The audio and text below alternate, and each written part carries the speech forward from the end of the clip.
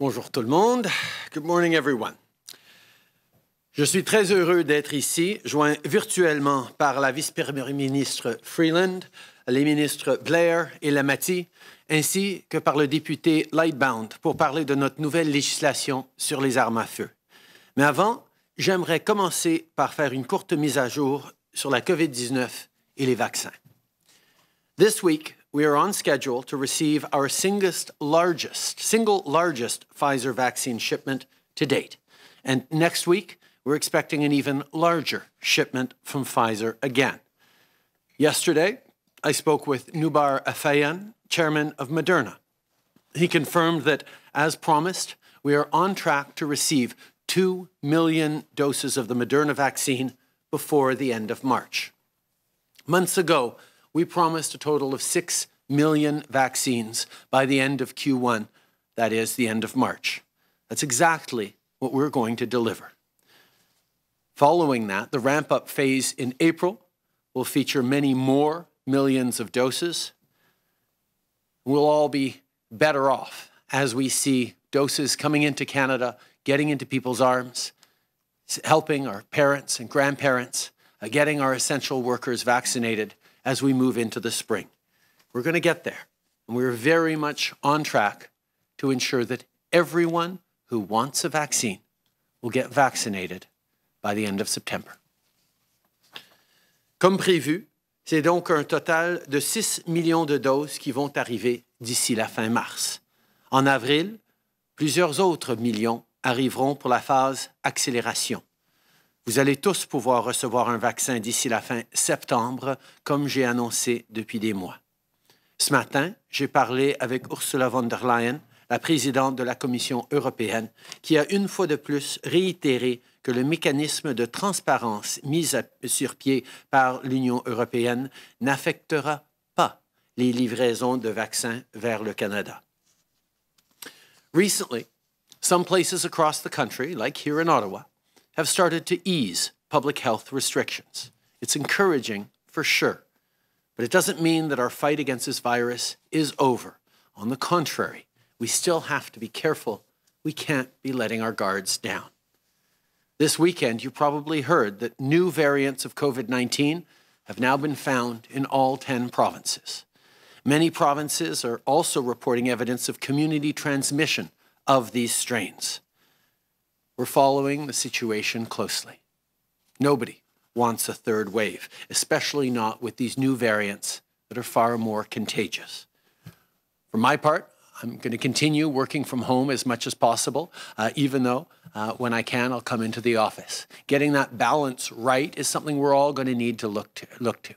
We see various provinces opening up their restrictions, and that's a good thing. But at the same time, we need to be making smart choices about how we keep our contacts down, how we prevent COVID 19 from spreading to our loved ones through our community by being careful. We need to limit our movement as much as possible. We need to avoid gatherings. We need to keep wearing our masks.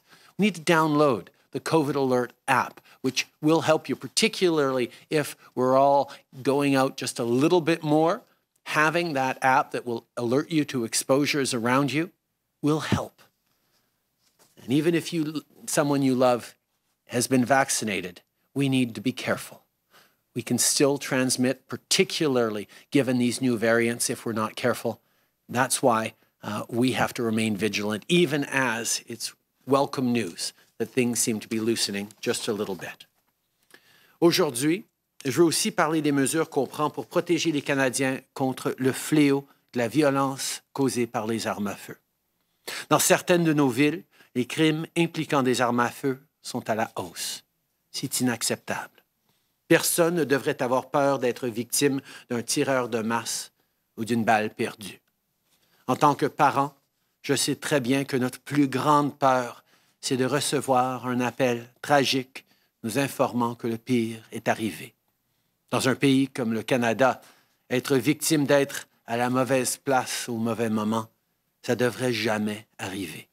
Pas au parc, pas à la mosquée, pas à l'école, et pas nulle part ailleurs. L'année dernière, pour combattre la violence liée aux armes à feu, on a banni plus de 1500 modèles d'armes d'assaut tels que promis. Ces armes sont des outils qui ont été conçus spécifiquement pour tuer le plus de gens possible, le plus rapidement possible, et elles n'ont pas leur place dans notre société. On a aussi promis de présenter un projet de loi fidèle au reste de nos engagements sur la question, et c'est exactement ce qu'on fait aujourd'hui. In 2019, firearms were used in 40% of all homicides in Canada. When it comes to keeping Canadians safe from gun violence, we need more than thoughts and prayers. We need concrete action. In 2019, we passed legislation to keep firearms out of the wrong hands, including by expanding background checks. Last year, we banned over 1,500 models of military-style assault weapons. And today, we're announcing new legislation for stronger measures than ever before to combat gun violence in Canada. Banning 1,500 models of assault-style weapons last year was a critical step, but we also need to continue to fight the illegal gun market. That's why we will increase criminal penalties for gun smuggling and trafficking and enhance the capacity of, border, of police and border officials to keep illegal firearms out of the country. At the same time, we will also create new offenses for altering the cartridge magazine of a firearm and introduce tighter restrictions on importing ammunition. Canadians called for these bold steps. We heard you, and we are taking action. To make sure that these assault-style weapons are safely removed from our communities, we've studied a range of options. We looked at what our allies are doing, including New Zealand. We saw what works and what doesn't, all while taking into account the realities here at home.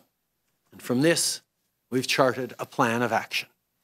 We will move forward with the buyback program in the coming months and complete the prohibition to ensure these weapons cannot be legally used, transferred, transported, bequeathed, or sold. Getting these weapons off our streets and out of the hands of criminals means less violence. And that means safer cities and communities.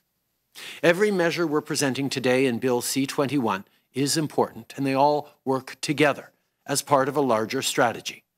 Because you can't fight gun violence or any violence on just one front, and you can't fight it without addressing its root causes. Il y a encore beaucoup trop de victimes de violences conjugales et de violences fondées sur le sexe dans notre pays.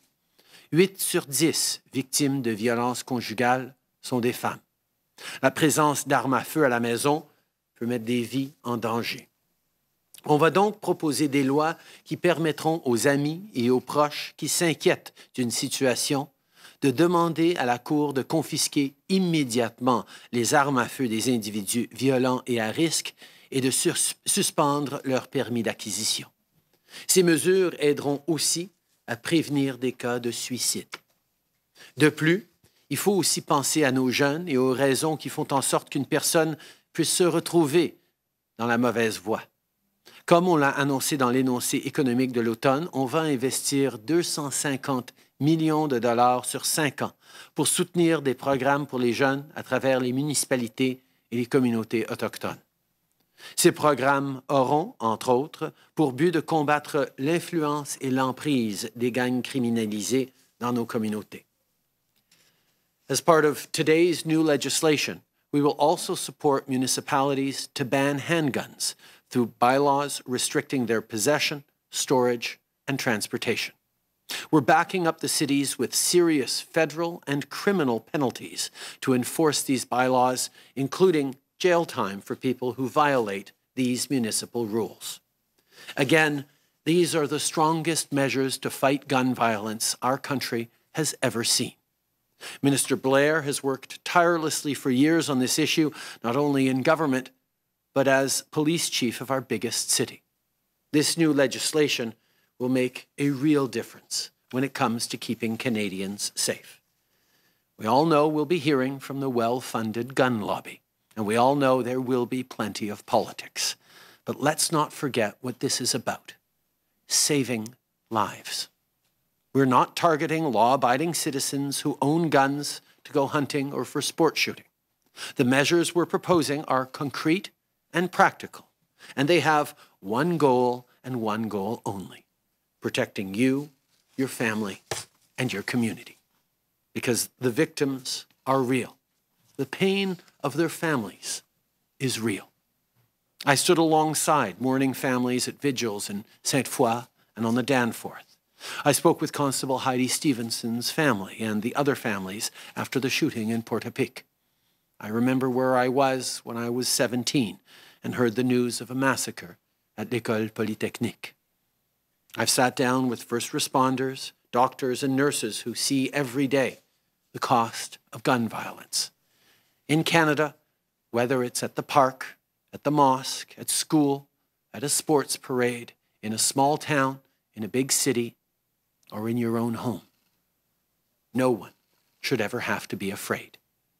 No more tragedies, no more wrong place, wrong time. The right place to act is here, and the right time is now.